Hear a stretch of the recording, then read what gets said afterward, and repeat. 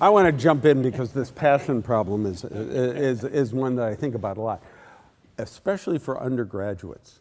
We seem to say to undergraduates, follow your passion, as if we're saying something good to them. I think all we're saying to them is, I, I think all they're thinking about when we say that is, what's my passion? Tell me and I'll do it because I haven't figured it out. And what if I make a mistake and I pick the wrong thing? So, yes, it's really good to be passionate about things, but I personally don't like this thing of follow your passion because I find it sort of rare. Certainly, I didn't know what my passion was until it sort of appeared in front of me and the experiment worked. Uh, I,